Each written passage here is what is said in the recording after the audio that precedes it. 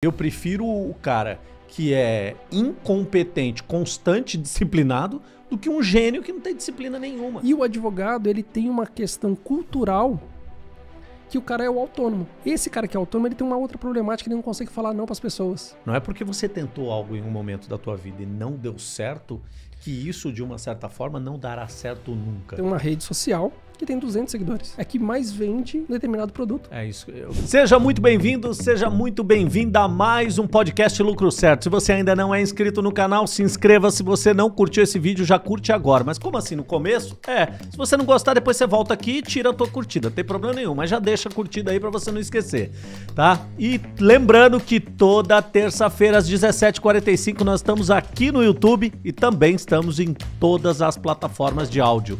E o nosso podcast tem sempre o objetivo de trazer para você, pequeno e médio empreendedor, conceitos, dicas, estratégias e histórias que vão te inspirar a fazer com que o seu negócio dê um lucro certo. Esse é o nosso objetivo com o podcast Lucro Certo. E esse cara que eu trouxe aqui esta semana vai falar para advogados, ou melhor dizendo, ele fala já para advogados há muito e muitos anos.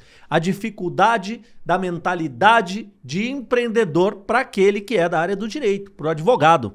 E ele vai compartilhar aqui várias ideias, várias dicas, vários insights. Se você é advogado, tem todos os motivos do mundo para ficar aqui com a gente. Se você não é advogado, também fique com a gente, porque certamente você vai tirar aprendizado aqui, tirar dicas e tirar insights para o seu negócio. Tudo uma questão de visão e adaptação. Anderson Amorim, bem-vindo, meu amigo. Obrigado, obrigado pelo convite. Obrigado a vocês aí que estão tá nos assistindo. É diferente eu estar tá aqui nessa posição hoje. Porque né? normalmente, normalmente você está do outro lado. Do outro lado então fala, gente... Já fala para a galera do teu podcast então, também. Então, sim, a gente tem um, tem um podcast. Na verdade, eu chamo, a gente chama de videocast. Tá? Então, vou me apresentar para eles aqui. Eu sou o Anderson Amorim, CEO da Jurídica. Né? A gente também tem escritório de advocacia, tem algumas outras coisas, alguns outros negócios, mas o meu principal negócio hoje é a, a escola, que é voltada para o advogado. Então, e a gente tem um videocast desde 2018. Que tudo, agora videocast, podcast, é tudo meio que. Que na verdade isso aqui não é um podcast. É, é um, video, videocast, é um videocast no YouTube, mas o áudio que vai para as plataformas se transforma, transforma num podcast. podcast. É tudo E a gente já faz isso desde 2018, sem muita pretensão. Nosso público é muito nichado, que é o mundo jurídico, mais para o advogado, voltado principalmente para o advogado. Então a gente tem lá no canal do, da Jurídica, olha aí no canal do, do YouTube da Jurídica, você vai ter lá vários videocasts, vários insights. A gente fez uma loucura um ano de fazer 365 lives no ano. E teve uma vira, uma jornada a gente de fez uma jornada 24, de 24 horas. 24 horas de live, aquela foi ah, muito De live ao assim, de live ao vivo mesmo, não teve essa de ah, põe o vídeo gravado, foi 24 horas ao vivo falando só de direito. Única live no Brasil falando de direito 24 horas. Ah, mas hoje, hoje falar de direito é fácil. Com a instabilidade jurídica que existe nesse país, você fala mais do que 48, 72, 24 horas. Mas a gente estava ensinando isso. Era aquele bate-papo ensinando. o desafio né? é maior ainda. O desafio né? é maior ainda, porque assim, a gente trouxe bastante gente convidada, então foi rodando convidado a noite inteira. E a gente fez. De entretenimento é fácil de ter. Agora, você reter a atenção de quem não é desse mundo de entretenimento, quem está buscando conhecimento para querer aprender e ter um lucro certo, é mais difícil. Me fala uma coisa, Anderson. Qual é o grande desafio do advogado hoje? Cara, a gente pode dizer que o advogado é quase igual o médico e o dentista, é aquele cara que é muito bom na especialidade dele, mas não tem muitas vezes uma visão de negócio? Eu vou falar para você que é pior. É pior ainda? É pior, é pior. Porque assim, o advogado ele estuda cinco anos, ele, o bacharel de direito ele estuda cinco anos numa formação, só que nessa formação o que, que ele sofre? O que, que ele aprende?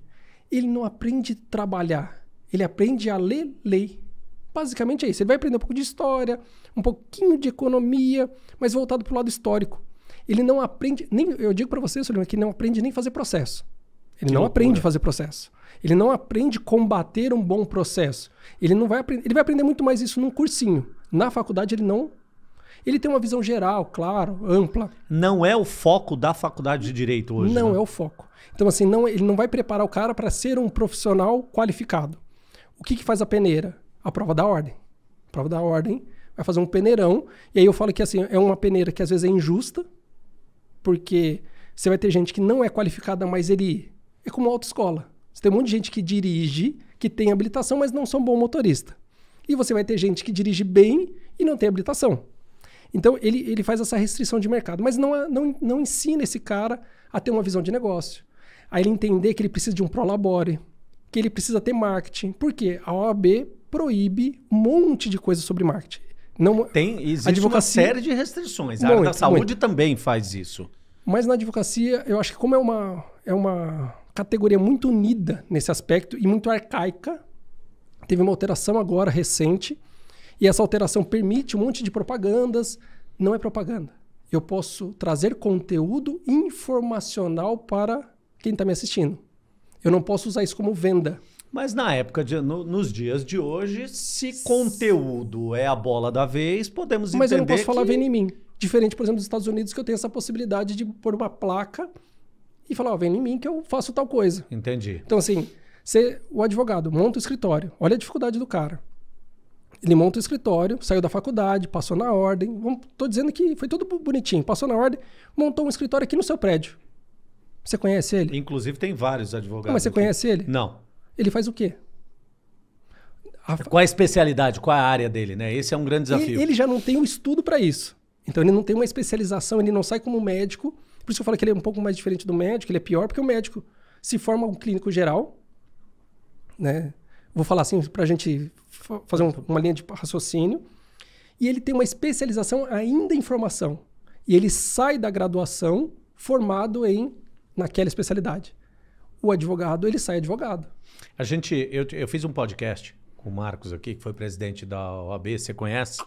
E ele estava me falando o seguinte: é, que nem 50% dos que se formam em direito necessariamente passam, fazem, Não. prestam o exame da ordem. Isso já é um número. Isso já é um, número assustador. Assustador se a gente pensar em, em linhas gerais aí, principalmente a quantidade de pessoas que se formam em direito no Brasil. E ele deu os números aqui, não me recordo agora. Você é aí volta lá no podcast e assiste o do Marcos aí, que vai ter todos os dados. Ele é bom de número. Ele, ele é bom de número. Foi é, presidente, foi presidente da, da OAB de São Paulo e tal. Ele deu vários dados interessantes. Mas uma das coisas que mais, mais me chamou atenção, que inclusive foi tema do nosso debate, nossa discussão lá, é o seguinte. Primeiro, o cara não tem a qualificação para empreender. Né? E é isso que faz com que muitas vezes muitos não vá empreender com o seu próprio escritório.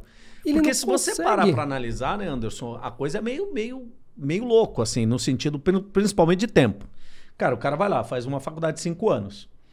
Aí o, o, o próprio Marcos falou: o cara vai levar pelo menos, pelo menos seis meses, no mínimo, para ele passar no exame da ordem pós-faculdade. Essa média até sendo um pouquinho mais. Na verdade, ele vai fazer um estágio, seja ou na graduação, porque a faculdade ele obriga a fazer um estágio na graduação, Sim. ou ele vai fazer fora. Tá? Que ele, ele... Então, nessa brincadeira você tem seis anos. Só que assim, nesse estágio, vamos falar aqui, e sendo franco, paga-se em São Paulo na casa de mil reais. Cara, dependendo da faculdade que ele estiver fazendo, não paga nem a faculdade não de paga, não, Você entendeu? Então, assim, como que ele vai fazer uma outra. E aí ele está preocupado com o quê? Qual que é a preocupação do momento dele? Qual que é o objetivo dele? Passar na prova da ordem. Não é ganhar dinheiro, não é se preparar. Não, não ele tô lá para poder passar na prova da ordem. Então ele vai fazer aquele curso para poder aprender a fazer uma petição. Então ele vai estagiar ali. Pra... E aí, dentro do escritório, se for um escritório pequeno, ele vai aprender bastante, porque vai fazer de tudo. Se for um escritório muito grande, ele vai ficar limitado a ser peças-chave. Então, ah, vai fazer só peça inicial, vai fazer só recurso, vai fazer, vai ser um boy de luxo. E aí ele não está preocupado em empreender, não sabe disso. Porque empreender, eu posso empreender dentro do seu negócio. Eu não preciso. O intraempreendedor. Eu não preciso ter, ah, mas aí vem as dificuldades, porque o cara vem para um. Vamos supor que ele tem um patrocínio. Vai lá, aluga a sala, monta a mobília. E aí? Eu não tenho cliente. Os que me, que as pessoas que me conhecem não confiam no meu trabalho porque falam assim: ah, ele acabou de se formar. Recém-formado. Isso é, um, é, em todas as áreas. Né? A gente tem um preconceito cultural do Brasil do cara que acabou de se formar, ele não presta. Eu quero o cara que é mais experiente. E às vezes o cara que está acabando de se formar está dedicado, está estudando mais do que um cara que tem 50 anos de, de mercado. Montou. Ninguém conhece ele, Sullivan. Mas se, vamos lá, se tudo isso der certo, tem um outro desafio também. Vamos lá, que ele tem o patrocínio. O pai chegou lá e pum. Pagou, tá pagando dinheiro. lá um ano de, de, okay, de sala. Um ano, dois, não importa quanto seja. O cara teve seis anos ali da formação para tirar a carteira da ordem e tal, e aí ele vai, tem o patrocínio mais um ano, dois, o cara vai para sete, oito. Só que ainda que ele tenha confiança das pessoas mais próximas, ele comece a pegar trabalhos ali, tem muitos processos que o desenrolar disso vão levar anos também. é- Depende do que Então, for, depende da dizer- área, 5, 10 anos. Quanto tempo esse cara leva para começar a ver dinheiro de verdade mesmo? É um desafio também a área, né? É, ó, é assim, ó, vou falar do mundo do previdenciário, que é o mundo que eu mais convivo, mas isso reflete em todas, tá? Só não no civil, que o civil você vê dinheiro na frente, então o civil é pago para você trabalhar. O restante que é de êxito, previdenciário, trabalhista, tributário, é muito mais de êxito. Então eu tenho que lograr isso. Quanto tempo? Um ano e meio a dois para ter resultado de um processo. Então, se eu ponho para dentro do meu escritório um processo por mês, eu vou ter resultado deste processo que eu coloquei agora daqui um ano e meio, dois. Então, então eu tenho que ter um tem uma fôlego. janela de um Só que- fluxo de caixa para um ano, para dois anos no mínimo. Só que eu, eu aprendi fluxo de caixa. Eu não sei nem o que é isso. Entendeu a problemática? Então, assim, ah, eu tô dizendo aqui, a gente falou, tá brincando de, ah, tem um patrocínio, alguém que ajudou a montar o escritório e tal. Eu tô dizendo alguém que veio e não tinha profissão nenhuma. Vamos pegar um outro cenário, que é o mais corriqueiro? Aquele cara que está estudando, trabalhando como qualquer outra profissão, não quero desmerecer profissão nenhuma, mas às Claro. vezes o cara tá, é, trabalha em loja, é, é mecânico, não importa o que, que ele faça, e aí ele faz aquilo para poder pagar a faculdade e ele não consegue ter a visão. Os poucos que têm a visão de empreendedorismo, quando o cara vem pro direito, esse cara desponta. Esse cara desponta. Por quê? E Principalmente quem vem de vendas. Eu, eu tenho reparado muito nisso. Porque ele sai, ele sai do, Porque ele fala assim, eu tenho que da vender. bolha. Ele fala que eu tenho que vender. O- a venda é diferente? Claro que é diferente, tem as suas limitações, não é uma área mercantilícia, tudo bem. Mas eu posso vender de outras formas, eu posso vender minha imagem. Quando eu trago, venho para uma rede social e eu faço uma postagem falando uma informação, eu estou vendendo a minha imagem. Perfeito. Só que eu não sei fazer isso. Aí eu não sei fazer collab, eu não sei fazer nada de Ou- marketing digital ou- e não sei fazer o, o offline que a gente chama. Ou se vai fazer, usa a linguagem do, vamos brincar aqui, do juridiquês, Vai vender para advogado. que ninguém entende nada, vai vender para Ele advogado. vai vender para advogado. É, é, esse- ah, meu público é o Sullivan. Eu quero empresários. E aí, o que, que eu falo? A linguagem que ele usa, que ele está habituado, é a linguagem de advogado. Que conecta ele com o advogado, não conecta com o empresário. E aí ele está falando o quê? Ele vai falar informações, ah, de acordo com o STF, a súmula tal. O empresário, no fim do dia, ele olha para isso e fala: que diabo de súmula é não essa? vê, Eu não quero cara saber vê, o que é isso. O cara não é. assiste. E assim, ah, e se for alguém de baixa renda, piorou. Eu tenho que falar a linguagem do meu público, que é que a gente fala que é o avatar. Falar isso pro, pro É a advogado. persona, né? E o ele, advogado. ele surta, que ele fala assim, meu, Avatar. Ele fala, acho que o Avatar é o filme lá e, e não consegue montar essa persona porque ele não consegue identificar que ele também pode ser uma persona, Ele é a persona de diversos outros produtos. mas ele não consegue enxergar isso, ele não vê. E aí, o que, que, que, que tem uma falácia? Você começa a ver pessoas dentro do, do mundo de rede social, em lifestyle, que a pessoa mostra uma vida que não tem e acha que aquilo vai conectar com pessoas que é o público dele. E não é. Então eu vejo esse erro muito, assim, muitos. Ah, o cara é bombado na rede social. Vejo porque eu, eu vejo, acompanho os alunos de perto e eles têm números. Ah, olha, meu vídeo teve tantas mil visualizações falando de direito. Aí eu pergunto, quantos contratos você fechou com esse vídeo? Nenhum. Então, para mim foi. Aí eu tive uma visualização em um contrato. Esse cara é excelente, Perfeitamente. Métrica, conversão 100%. mas ele não sabe nem olhar métrica, ele não sabe olhar isso. É. Eu, eu falo que o, o problema legal do advogado, uma dica legal para quem é advogado e quem é empreendedor, o cara precisa ter, Sullivan, na minha opinião, tá? Ele precisa ter uma mente de empreendedor e uma vida de assalariado. Boa. Para que, que ele precisa ter isso? Me- Ele precisa ó, ter salário. Anota isso. Mente de empreendedor e Vida de assalariado. vida de assalariado. Porque se você não tiver salário, a gente, a gente teria que falar aqui de mudança de mentalidade, mudança de um monte de coisas, de paradigmas, de é, crença, que você não muda da noite pro dia. Sim. Não adianta. É, é uma construção. O, o mindset não se constrói do dia para a noite. É uma construção e que muitas E árdua. vezes E árdua. árdua e que muitas vezes passa por um processo muito profundo de autoconhecimento, terapia e por aí vai para o sujeito começar a entender aonde ele está inserido, Porque né? qual é o contexto. Eu falo assim, eu gosto muito da PNL, gosto muito do desenvolvimento humano. A PNL, se a gente for ver, ela é um autoconhecimento para negócios. Se a gente for analisar friamente, ela não é um autoconhecimento para que eu me resolva socialmente. É para que eu me. Ela acaba contribuindo para uma resolução resolve. social. mas não, É. não resolve. Sim. E as pessoas vão buscar, às vezes, esse autoconhecimento para resolver o, o- o íntimo. e não para o negócio. Quando ele vai para o negócio, o coach, quando vai para o negócio, funciona muito, dá muito resultado. Por quê? Está focado para o negócio. Sim. São ferramentas de comportamento humano para negócio. E aí, eu, se eu não tiver essa visão e não tiver salário, Solivan, deu ruim. Porque o cara quer ser. Advogado, eu vejo muito isso. Muitos alunos nossos passam por isso. O cara tem um escritório. O escritório é saudável às vezes. Ele conseguiu fazer tudo isso. Ele fez o escritório virar, conseguiu trazer cliente, está entrando dinheiro. Só que o cara, como advogado, ele quer ter um salário de 50 pau por mês. Ah, o estilo de vida dele não é saudável não é para o negócio, não, não é saudável para o negócio. Então, assim, por quê? O advogado ele faz uma coisa diferente com relação a médico e tal, que o que entra no escritório ele põe no bolso dele. Ele não divide o que é PF da PJ. E isso acontece com vários empreendedores. Eu vejo isso muito. Era isso que eu ia te falar. Não, isso não é uma exclusividade do advogado. Tem muitos empreendedores que fazem isso. Mas o advogado ele não entende que o quê? O empreendedor, ele vê o dinheiro no caixa no final do dia. O advogado, ele fala assim, nossa, eu peguei 30 mil no processo.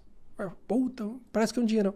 Demorou cinco anos. Dilui isso em cinco anos. O dinheiro no tempo, se fizer a conta do dinheiro no tempo, você não ganhou foi merreca, nada. Foi, merreca, merreca por mês. Exato. Ele não consegue fazer uma precificação de hora de trabalho, hora técnica. Porque ele fala assim: que hora técnica é essa? Porque não tem isso no mundo jurídico. É diferente de um produto. Ah, essa caneca custa quanto? Custa um real as pessoas imaginam que eu pôr um real em cima eu estou ganhando 100%, que é a, conta está errada, não é, vamos discutir essa conta é, aqui. Não porque... vamos nem entrar nessa aí, porque... Mas o advogado, ele, ele calcula mais ou menos assim. Então, ele, que que como que ele calcula? Ah, o Sullivan tem experiência, ele cobrou 10 mil para fazer esse processo. Cara, eu estou precisando de grana hoje. Vou cobrar milão. E aí ele cobra mil reais. Só que a demanda de trabalho que o Sullivan tinha co cobrado 10, realmente vale 10, porque ele vai gastar, vamos supor, 20 horas de trabalho em cima daquele processo.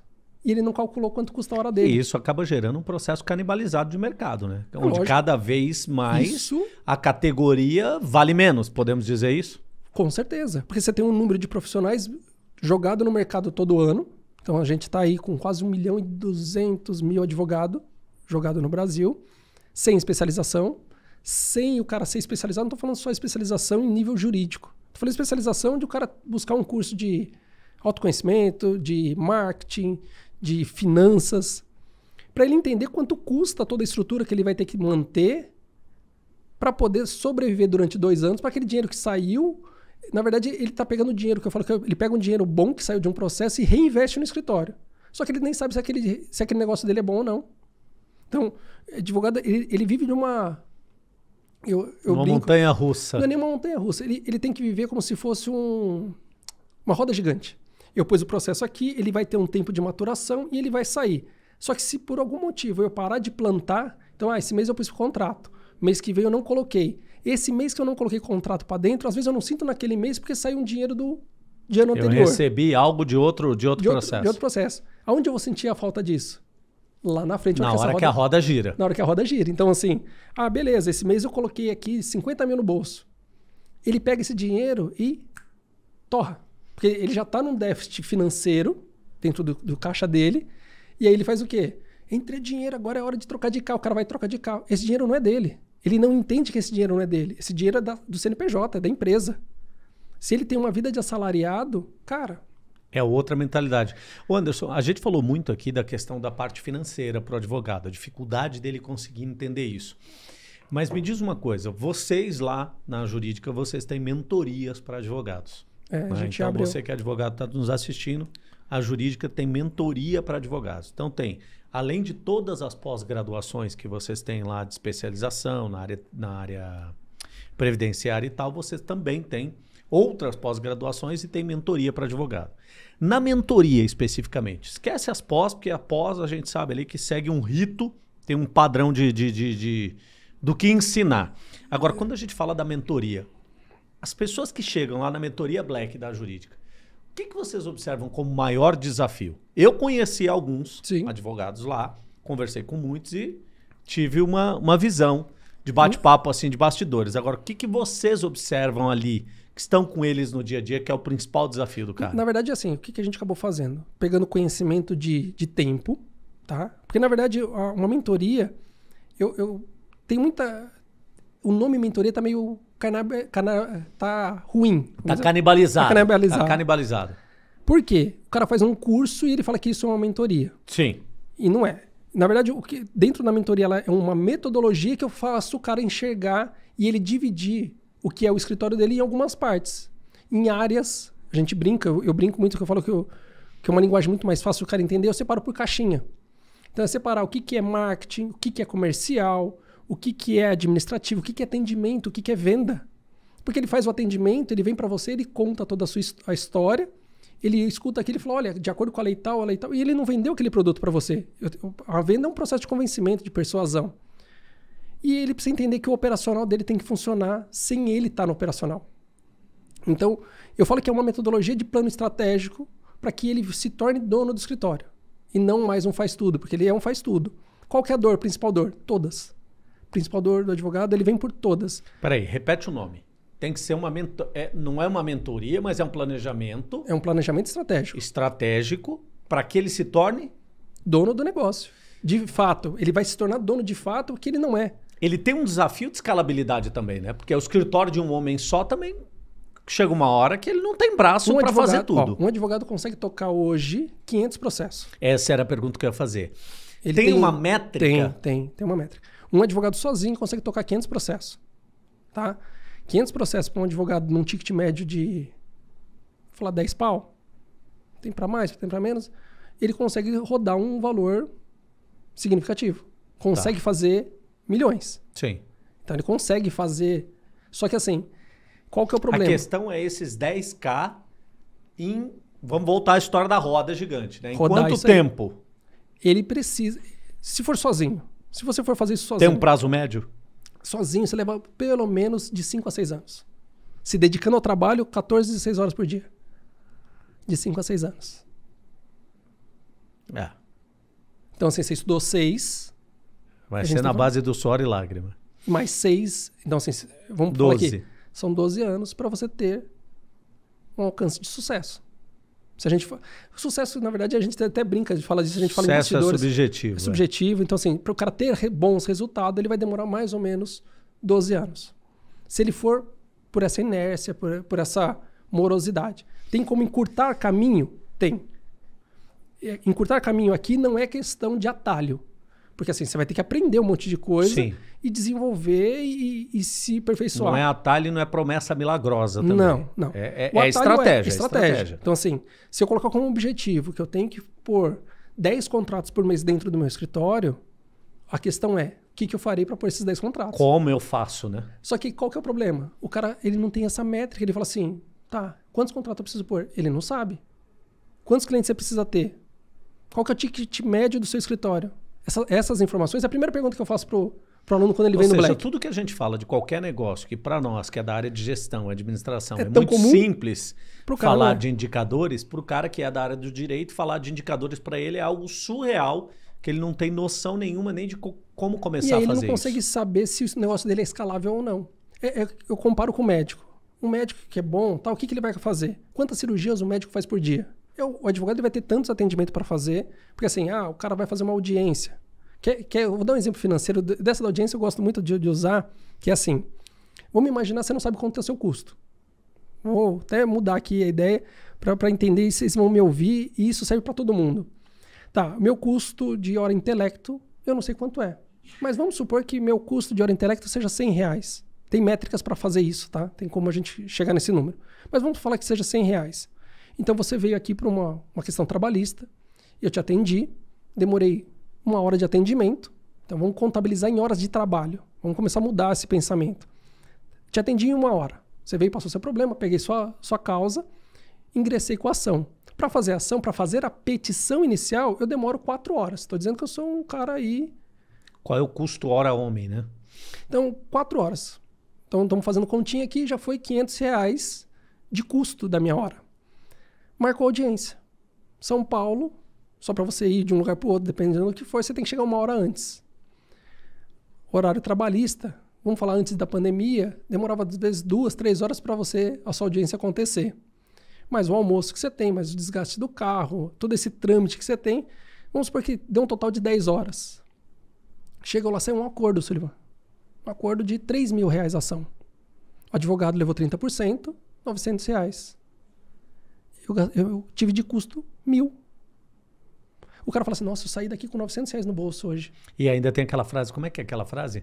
Mais vale um acordo bem feito. Mas, mas- mas vale um, um mau acordo Um mau acordo do que uma boa causa. do que uma boa causa. Mas você entendeu? Então, assim, ele, de custo dele, ele gastou naquele processo mil reais. E entrou de volta quanto pro caixa dele? 900. Isso se a empresa for um trabalhista, se a empresa ainda pagar. Resumo da ópera.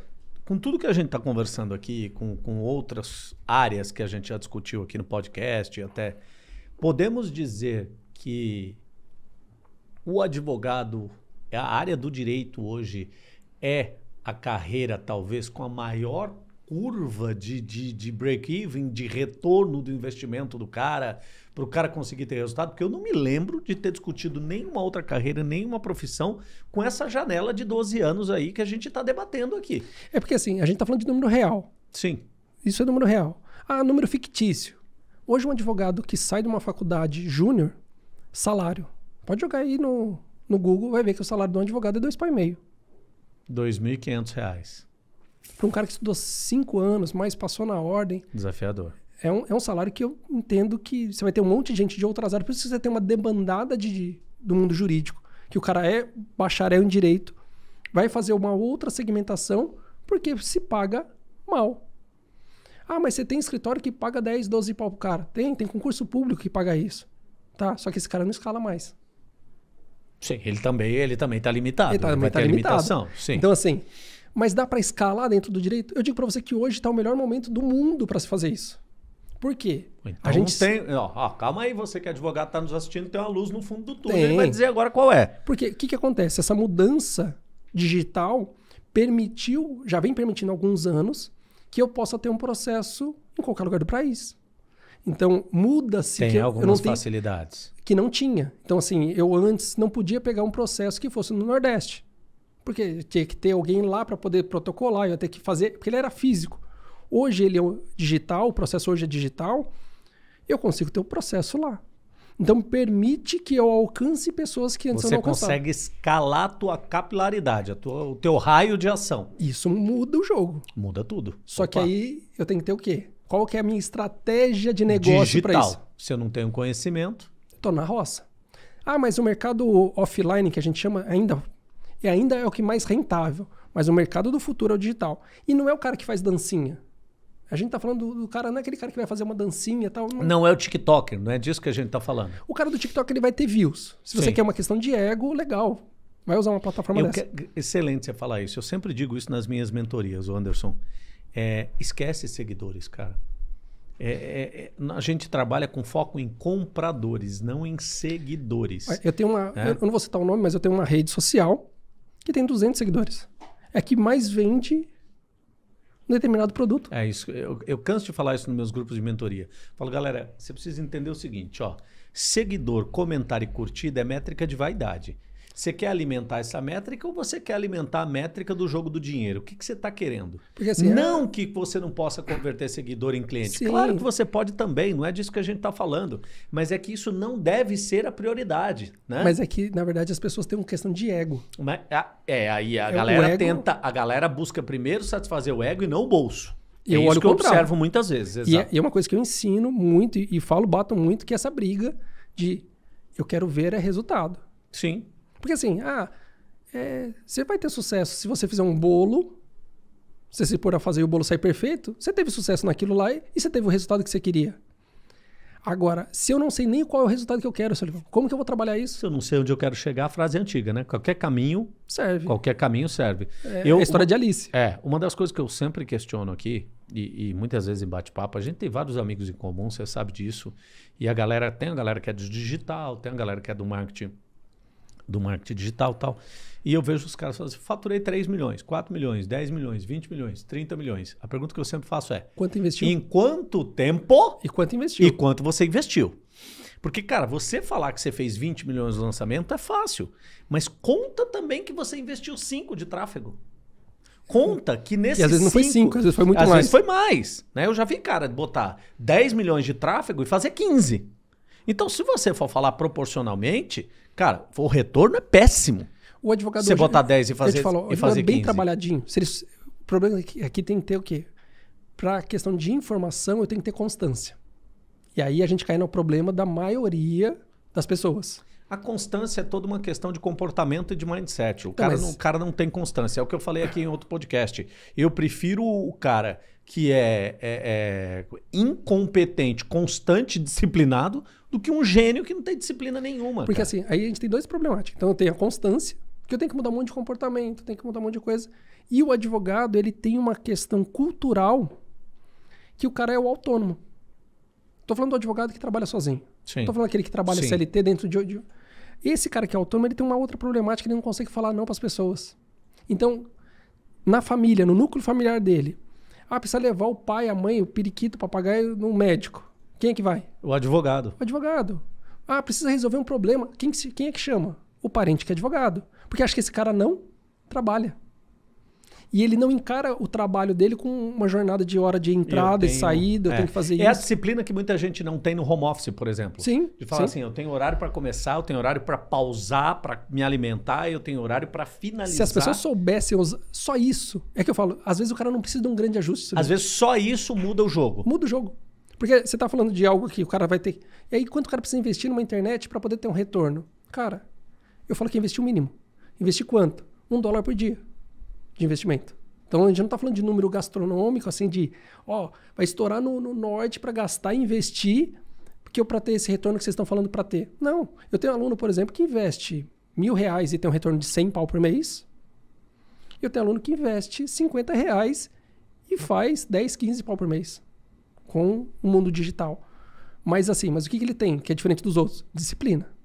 O cara faz um cronograma e a gente, eu E acabo a ensinando. disciplina, constância, teste, e apura o dado, e levanta o número e vê o que deu. Mas aí, aí a gente volta no velho problema. Se o cara não teve essa mentalidade, essa educação Não lá atrás, o vai. cara se perde. Ele se perde porque ele fala assim, por onde eu começo? E, e eu vejo isso acontecer, não é com um, com dois, é com vários.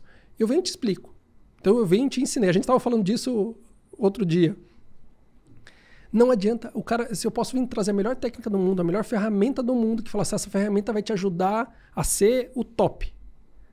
Aí o cara fala, mas o que, que você falou mesmo? Eu não entendi nem a primeira palavra que você disse lá atrás. Porque a mentalidade dele, ele, ele, Ele é não limitada. tem. Ele, ele tem uma limitação de aprendizagem para um tópico específico do qual ele não foi treinado para aprender. Porque, ele assim, também tem essa O dificuldade. advogado, a primeira coisa que ele fala, eu não quero, eu fui fazer direito porque eu não queria fazer conta.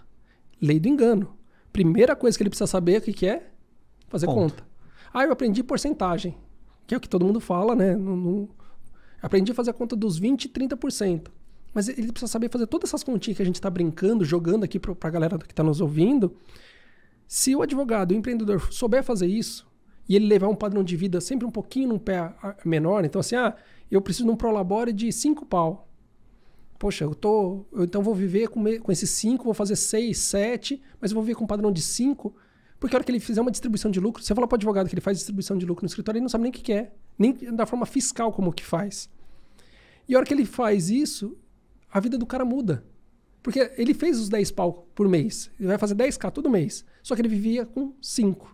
Esse 5 ficou no, no escritório. Então ele tem dinheiro para reinvestir. Ele tem dinheiro para comprar uma ferramenta, às vezes, que ele não olha que o celular, o computador é uma ferramenta É uma de trabalho. ferramenta de trabalho. Ele não olha isso. Então, assim, ah, preciso trocar o computador. Preciso reinvestir em, em redes sociais. Eu estou reinvestindo no meu negócio. Mas Propaganda. Tem, tem um desafio grande também que é o seguinte, Anderson. O cara ele ganha 5, ele gasta 5. Aí Ganha ele passa 10. a ganhar 10, ele gasta 10. Aí ele ganha 15, ele passa a gastar 15. O problema disso não é necessariamente, muitas vezes, só. O único problema não é só Não. ter gasto 5, 10, 15. O problema é a elevação do padrão de vida. Você coloca o padrão de vida num nível que depois, em algum momento, quando você não tem para suprir aquela necessidade, regredir o padrão de vida é um dos maiores desafios que existe na vida. Cara, eu, E que a maioria, a maioria não, a gente pode até generalizar que muita gente não consegue fazer isso. Porque assim, o cara ganha dinheiro hoje. Então vamos supor que tenho advogado, recém-formado, tô com sangue nos olhos, vou para cima e vou atrás de cliente, vou laçar cliente na rua. Vamos falar bem, bem assim para o pessoal entender. Trouxe muito cliente. Pus cliente para dentro, pus cliente para dentro, trabalhei que nem um louco. Vai chegar uma hora que fisicamente você não aguenta. Você sabe disso, a gente está acostumado, a gente tem hora que a gente faz picos de trabalho de 16 horas num dia. Mas você tem um processo de recompensa. Tem que ter um processo de recompensa. E aí, o que, que acontece? Esse dinheiro não sai agora, então o cara tá trabalhando. A hora que o dinheiro começa a sair, que ele começa a ver o dinheiro, Ele começa a compensar. e aí ele tira o pé. Só que ele leva o padrão de vida que aí você tá falando, ele leva o padrão de vida dele pra cima. Mas não pensa no amanhã. Não planta. E a gente tem que aprender com quem era da roça. Você tem tempo de plantação e de colheita. de colheita, perfeitamente. E aí, o que, que eu tenho que estar preocupado? Estou colhendo agora, eu tenho que estar plantando de novo. E esse cara, 90% dos advogados que passam na nossa mão, ele para de colher. Por quê?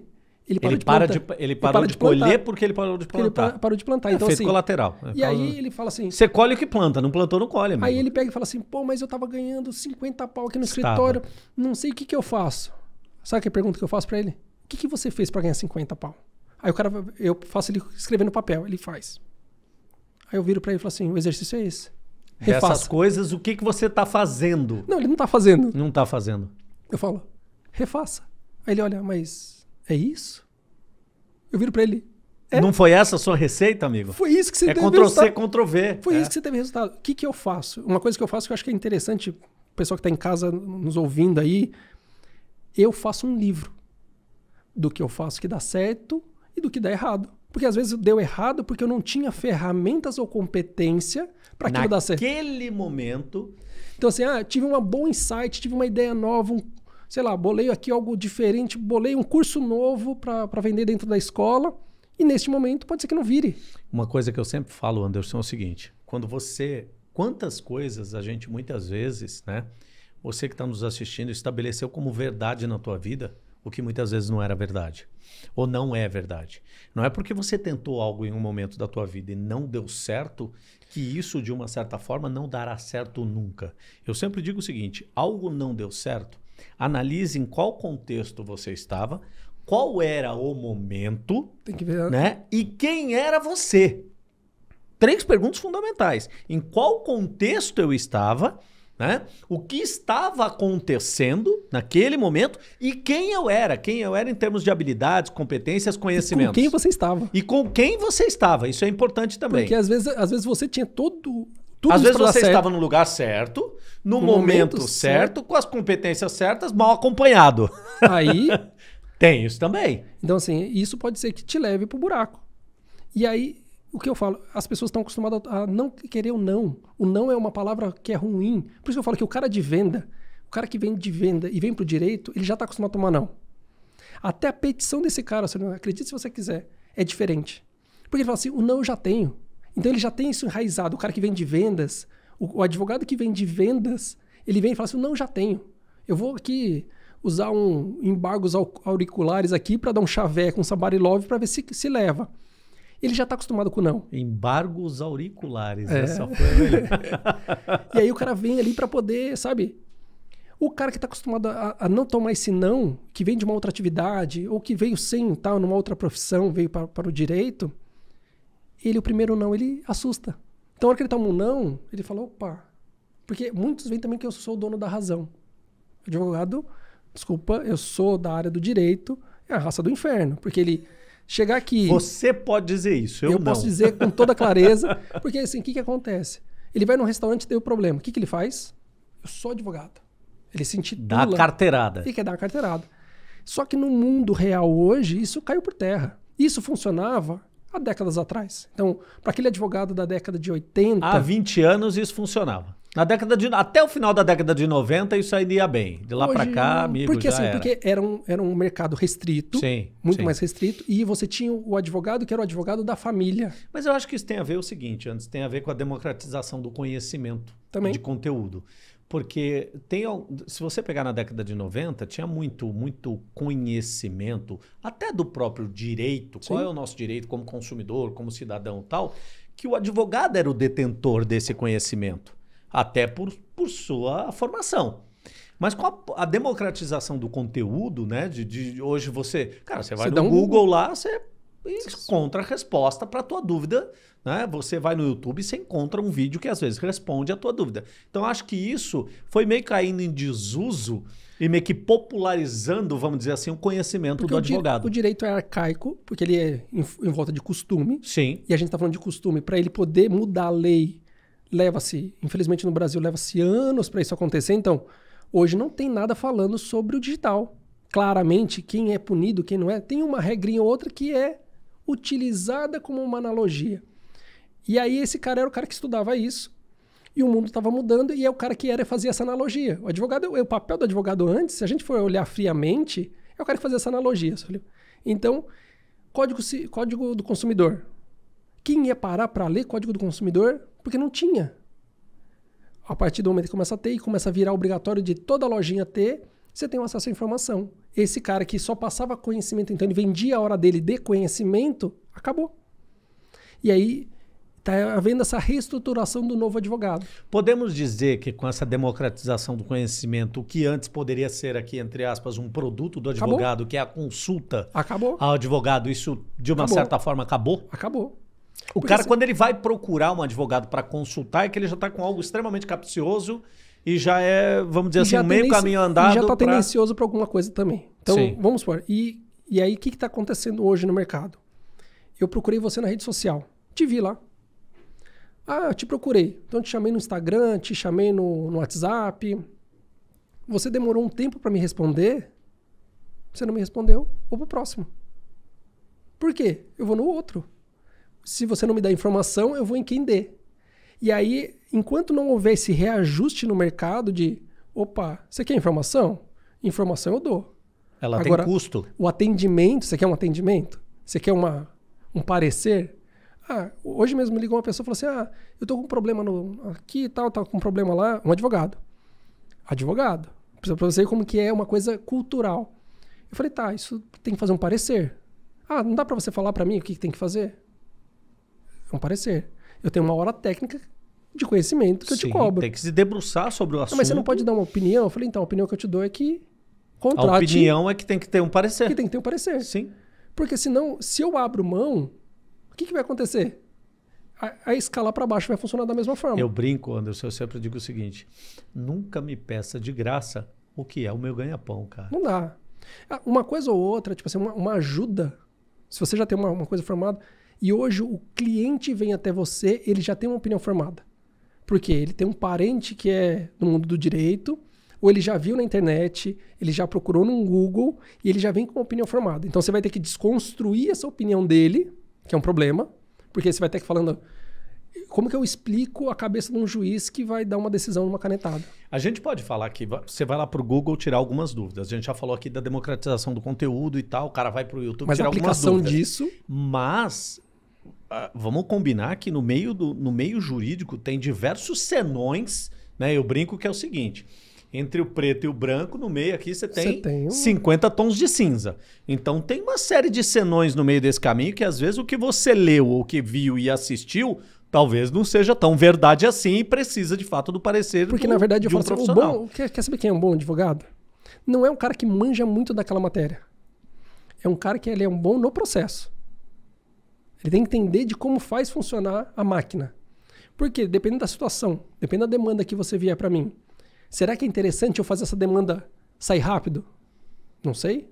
Porque depois você vem com um problema para mim e fala assim: eu vou chegar para você e falar, Sullivan, nesse jogo aqui a gente já tá perdendo de 1 a 0. No máximo que a gente vai fazer é empatar. Mas vamos supor que fosse uma trabalhista. Vou, vou para qualquer área. Sim. Ó, aqui já tá perdendo. Mas vamos fazer caixa na empresa para você pagar isso aqui. Vai ser uma dívida trabalhista de 30 mil mais ou menos o prejuízo. Vamos fazer caixa. Você não tem caixa? Vamos fazer caixa então eu vou embarrigar da maneira que eu posso, da forma legal. Legal. Para ganhar tempo. Para ganhar tempo. Então eu vou usar dos meios técnicos para ganhar tempo. Isso é um bom advogado. Não, Sullivan, você precisa aqui, aqui, você precisa receber rápido, vamos fazer para. E eu preciso antecipar esse processo. E um cara que entende de processo, ele vai encurtar esse tempo. Então, um bom advogado não é aquele cara que foge desse cara que fala muito da matéria, olha, é muito especialista. Entenda-se no métier ele, esse cara é ligeiro. É, é, nisso que esse cara ainda é bom e esses são... Esse, essa é a diferença entre o preto e o branco e os 50 tons de cinza no meio Porque, do caminho. Porque assim, fazer o. Tem gente que não sabe fazer o copo. O cara vai pegar um modelo de processo na internet. Ele sabe tudo? Não, não sabe tudo.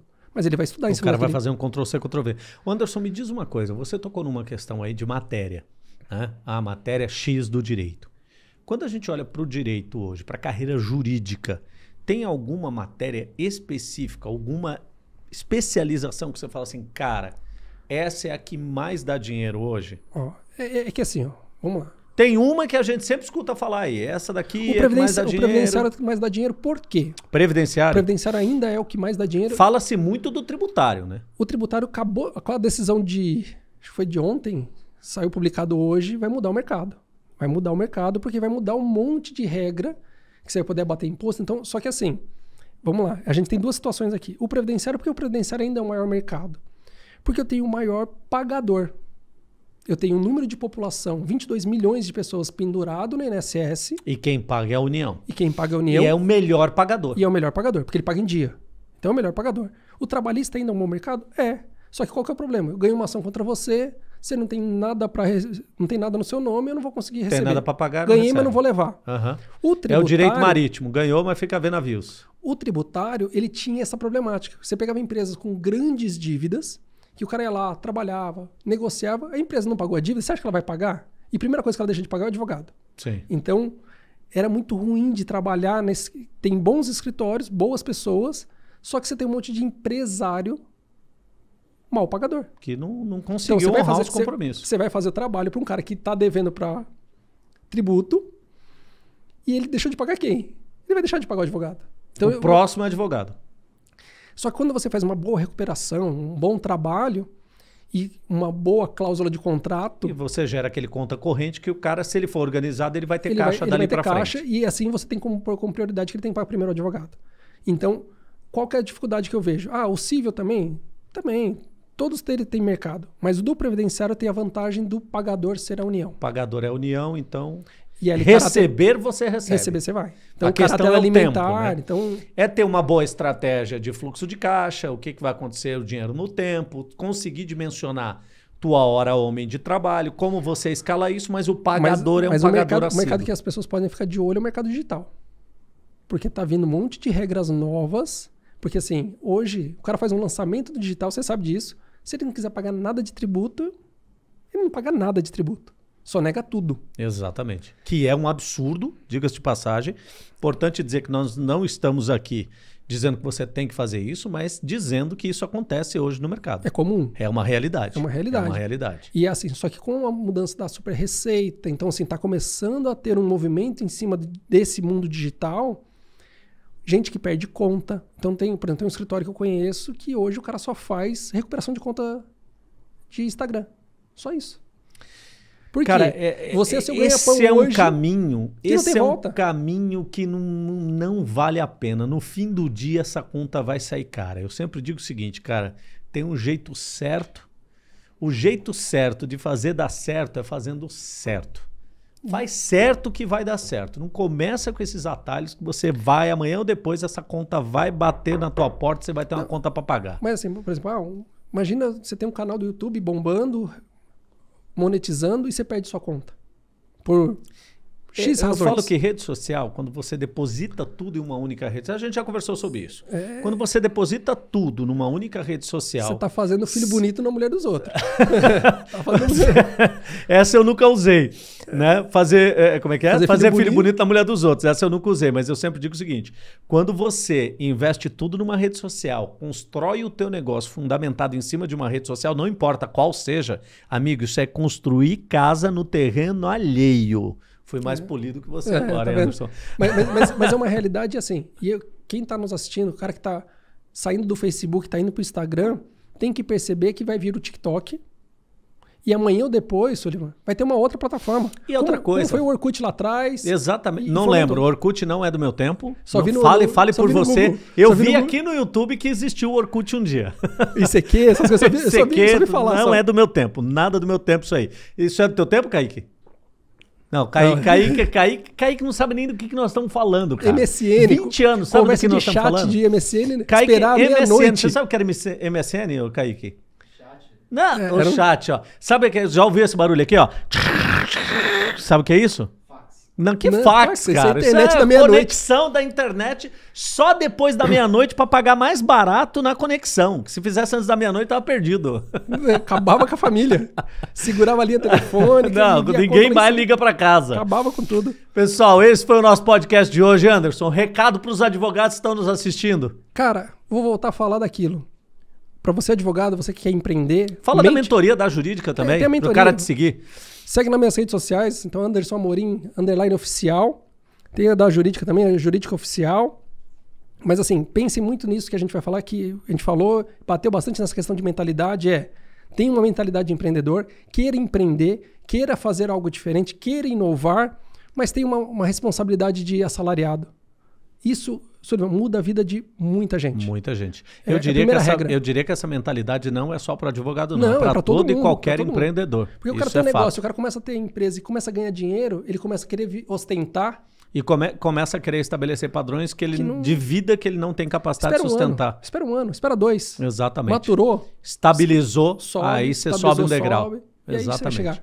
Pessoal, lembrando que toda terça às 17h45 nós estamos aqui no YouTube com o nosso podcast Lucro Certo e também disponível em todas as plataformas de áudio. Se você não curtiu o nosso vídeo ainda, curta o nosso vídeo, deixe o seu comentário aqui sobre este episódio do podcast Lucro Certo e também deixe sugestões de temas que você gostaria que a gente abordasse aqui no nosso podcast Lucro Certo. Um grande abraço e a gente se vê no próximo episódio. Até lá!